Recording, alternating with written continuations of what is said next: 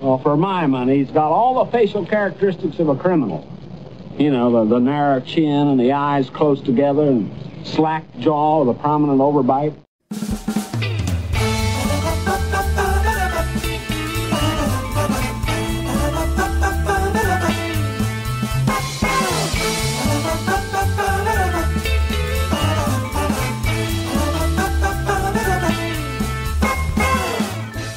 You're listening to Comedy Parenting Radio.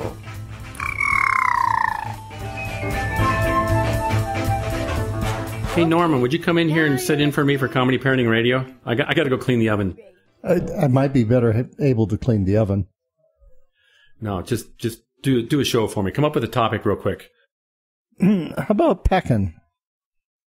So, in your form of parenting, the proper form of parenting, uh, what do you teach them in the way of packing? You can't talk about packing on Comedy Parenting Radio. Well, maybe you can. Hang on a second. Here, let me have it.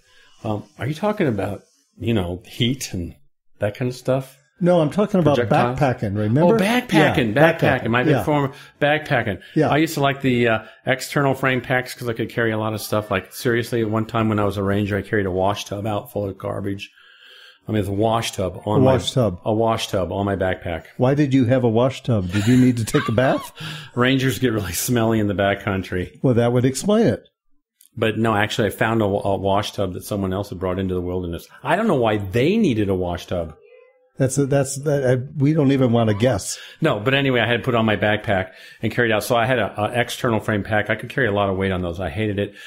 Um, I could carry a lot of weight, but now my knees are killing me.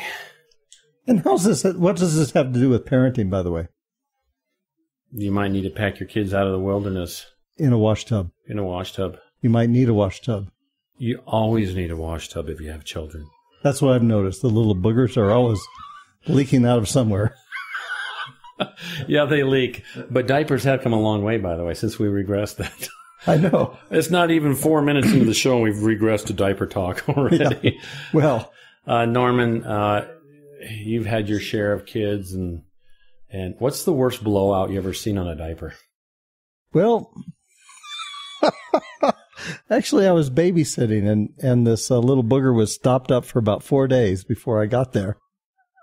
This is a true story. And then they went out for a fine dinner. I didn't have much anything fine about that evening at all that I could recall. That's what we call probably blowouts. they probably uh, uh, read the Tremors report or something like that from Boulder and knew it was about to erupt. Like uh, Norm, come on over. We got to go to dinner. That was the combat duty, pretty much. Did you get hazard pay that night? Uh, I should have. I should have. You know, that's one thing they never talk about to uh, people who like, oh, I want to be a babysitter. You know, is really the hazards of being a babysitter. What's a, have you ever been a babysitter? No, No, but No. you've had a lot of babies, seven. and you've sat on them sometimes. Yes, I've sat on them. You, sometimes you have to sit on them to hold them down while you're doing the diaper changes and whatnot. You know, uh, as a matter of fact, I know people that say it takes two adults, you know, just to change the diaper. One to hold the hands, one to hold, the, you know, feed the, the whole kind of thing there too. But it's kind of easy. But uh, can you think of any other hazards maybe when when people are babysitting? like Uh, well dogs. shafts, what? Uh, w- well chefs, yeah, well that's a good shafts, one. Yeah, and uh, ignition systems. You know, like those little gas um, burners on the stoves. oh, so like a kid could uh, just turn on the propane and blow the house up. Yeah, that's always fun. do you let do you let them have it on for a little while just to get a smell going and then go shut it off? Yeah, well, you can always test how badly it leaks with a match. Don't try this at home. Try it No. at your try it at your neighbor's home. Neighbor's home, yeah, that's right. Don't try anything we say at home. Try it try it at the neighbor's home. good- good insurance first. Yeah, exactly that. Huh. So uh, blowouts on diapers and little hazards and whatnot. Uh, what else do little kids do? Like I don't know, toddlers. What do they do? Like when they're walking, do they ever fall down and smack their face on anything? You know, are you are we talking smack now? I don't know, but I know you you you're married to a nurse. You've probably heard of things. Treesock Press sells the books that stay on your shelves. When you want books that your guests pick up and read and can't put down, make sure it's one of Treesock Press's comedy books. Get a copy of our new book, Dad, the Tooth Fairy Didn't Come, and your kids will want you to read it over and over and over until you pull what little hair you have left out. When you pitch old books out into the gutter, you'll feel complete guilt if it's a Treesock Press book. Get your Treesock Press book wherever lousy comedy books are sold. Treesock. It stays on your shelf. Ranger Station. Hi, um, I want to report a bear sighting. Location. My front door. It was Smokey Bear. My husband was burning leaves in the yard. He just came inside for a second. Never leave a fire unattended. If it's too hot to touch, it's too hot to leave. Smokey said that too. We go way back. I knew him when he was just a cub. How cute. If you see someone in danger of starting a wildfire, step in and make a difference. Brought to you by Smokey Bear, the U.S. Forest Service, your state forester, and the Ad Council. Learn more at smokeybear.com. Only you can prevent wildfires. Everyone stay calm. We are taking over.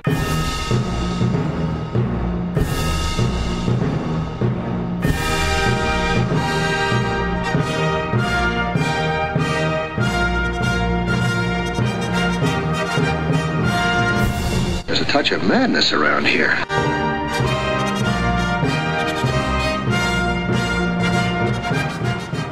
Well, well, there's a few. Uh, actually, I can't even say it on the air. Actually, come to think of it, Every time I have a guest on, they're like, I can't say that on the air. It'll go from G to whatever rating. yeah. Yeah. Yeah. Okay.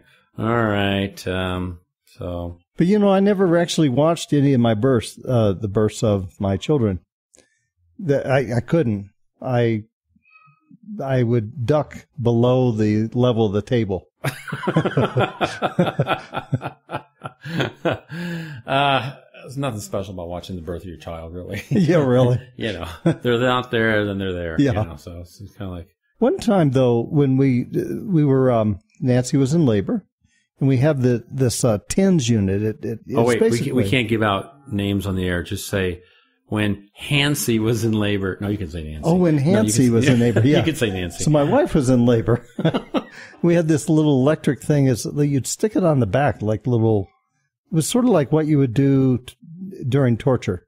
You know, Yeah. like waterboarding, Oh, yeah. and you would use this waterboarding and babies. It's all the same thing. same thing. Same thing. And and you and you'd have this electric current. It was kind of like a a taser, and and so you turned it up when the contraction's going on.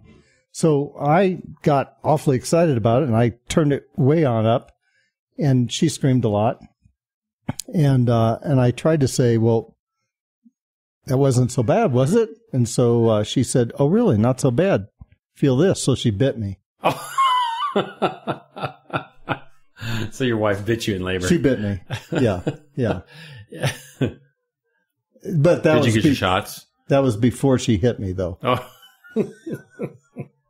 so that's why you're normally below the table when it's about time. yeah. When yeah. it, yep, Yeah, yep. When it gets close, try to leave. You never figured out to wear the mouth guard and all that kind of stuff, did you? Like a lot of the doc- uh, men will do when they. no, you really should, though. It's a good idea. So, so you men out there, if you're about to have a, a kid and your wife's going into labor, make sure you have your mouth guards and, and other appropriate gear Protection. for protection. Yeah. Yeah. Protection like that. Yeah. Cool. chain mail Okay. in case you get bitten. Hit. Okay. Uh, Comedy Parenting Radio. We'll be back in just a minute. Ranger Station. Yeah, hi. I'd like to report a bear sighting in the forest. Uh-huh. One second I'm having a smoke. Next thing I know, I'm face to face with Smokey Bear. And he told me it only takes one spark to start a wildfire. Did you know nine out of ten wildfires are caused by humans? I had no idea. That's why Smokey's famous and you're not. If you see someone in danger of starting a wildfire, step in and make a difference. Brought to you by the U.S. Forest Service, your state forester, and the Ad Council. Learn more at smokeybear.com. Only you can prevent wildfires.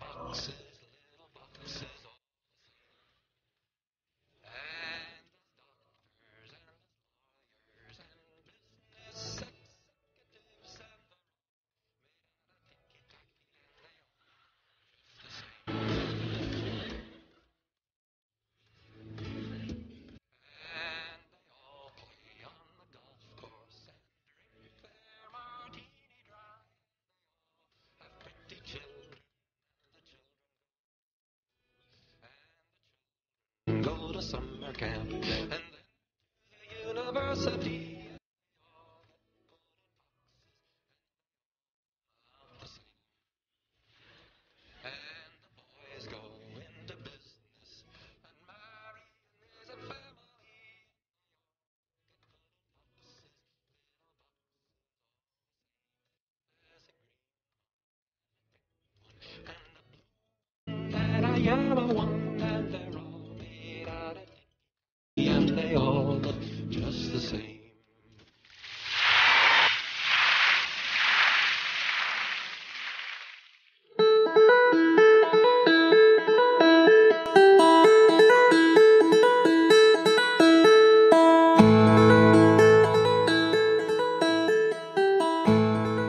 back at uh, Comedy Parenting Radio. We've got Norman in the studio. Uh, he he's the stand-in host. He's actually sitting in the.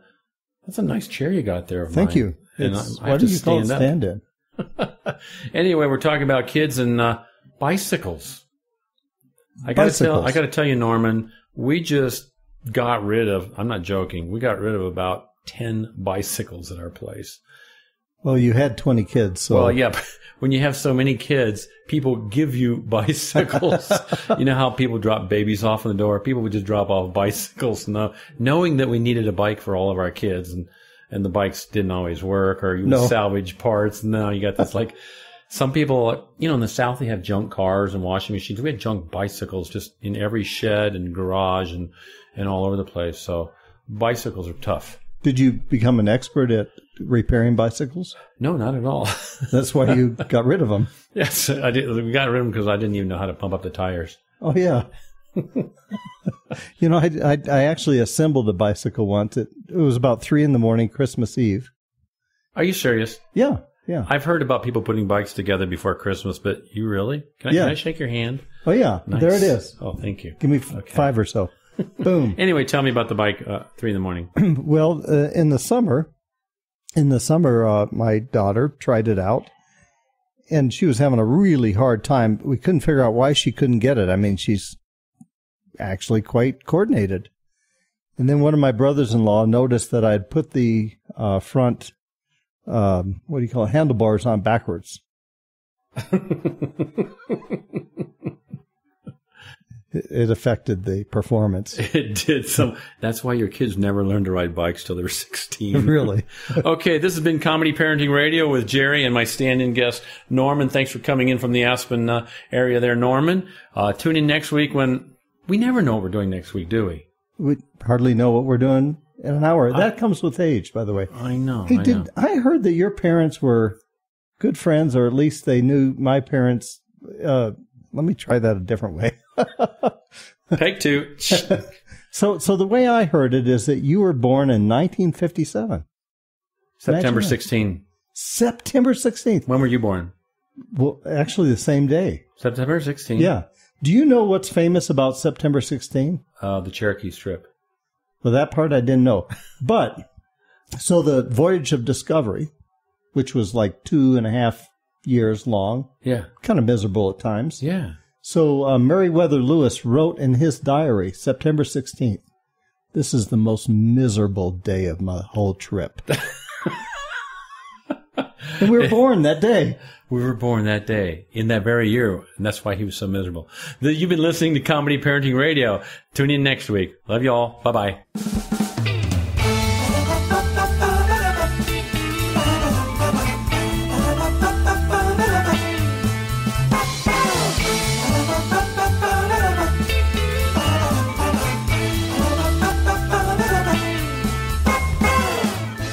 You're listening to Comedy Parenting Radio. I know nothing, nothing. You get nothing. You lose. Good day, sir.